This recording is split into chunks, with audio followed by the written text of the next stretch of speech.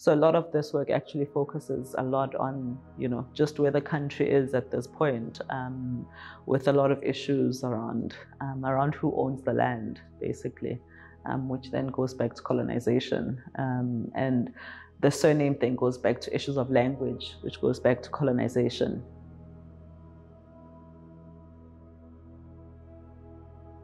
Lebohang Kganye from South Africa, Johannesburg.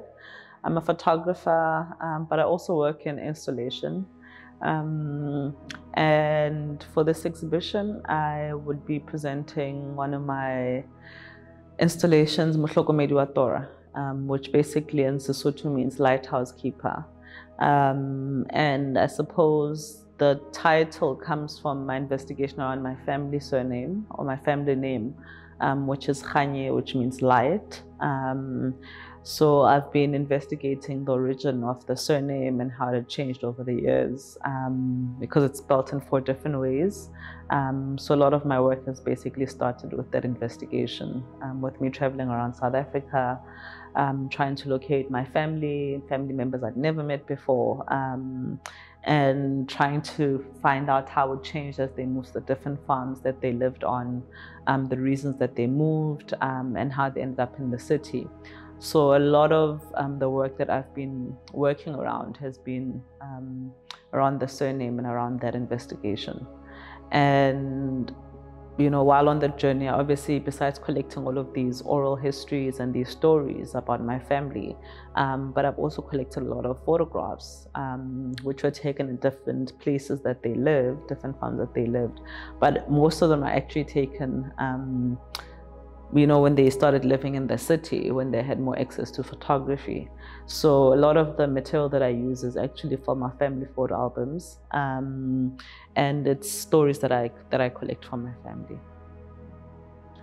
Um, so I've been thinking about this idea of photography attesting for truth, um, and also how you know, it stands in for a memory, um, but actually, you know, I've been thinking about the fact that it also largely stands in for a fantasy.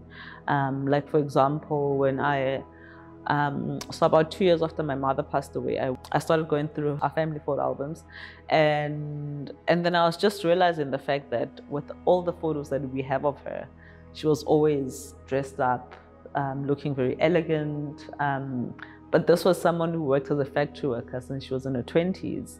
So, and there's no record of her um, in terms of the photo albums, um, in terms of her being a factory worker.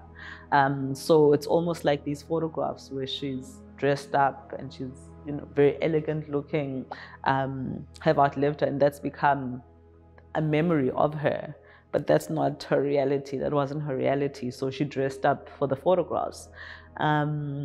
So I just started to think about how these archives that come to represent us and that outlive us actually are very fantastical and are very far from our reality. Um, but also how these oral histories are similar to that, how um, in as much as they can be sort of record of the truth and the history, but to a large degree, um, it's, it's also quite fantastical. So so in a way, um, this installation, Mohlokomedi wa Tora, is um, becomes like a, in a way like a storybook.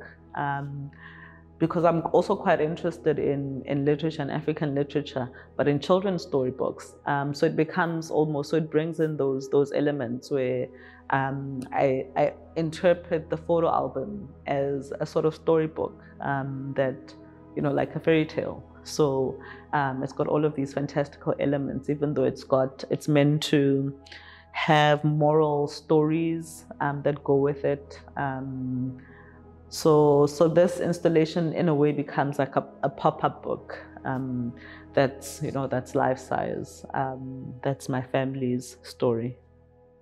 So the scenes that I decide to work with, because there are many and many stories that uh, that I've um, that I've collected from my family. Um, but a lot of them are like ones where they're so significant to to the person that's telling me the story. Um, and a lot of the ones that get repeated by a lot of family members. Um, so I then decide to to work with those. Um, but I'm also at a point where I'm, I'm including a lot of the the recordings into the installations and or into the um, the exhibitions as well, um, just not for this particular installation. I mean, but it's also got a lot to do with um, just wanting to tell our own stories um, because you know like as i said that a lot of our stories are it's oral so they aren't um, and for example with surnames surnames are very political so um, so that research on its own has been very interesting just in terms of thinking about south africa and south africa's history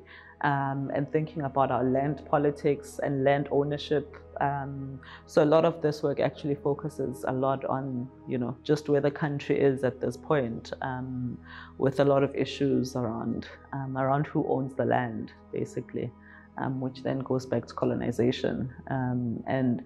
The surname thing goes back to issues of language, which goes back to colonization. Um, so, so it, in that sense, it's very much not just my family history, but it's a, it's a South African history.